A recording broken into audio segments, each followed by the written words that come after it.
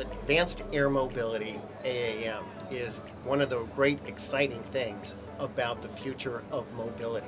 Business aviation has always been about getting people where they need to be, when they need to be there, safely, securely, flexibly, now sustainably.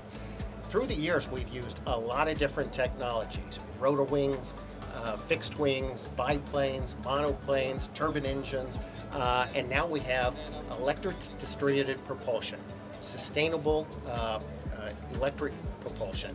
And this is so exciting because it is a new technology, a new application for mobility.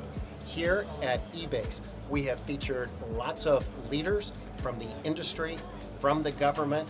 We're here in this wonderful Lilium uh, cabin looking at what the future of flight looks like. And that future is going to start in about 18 months.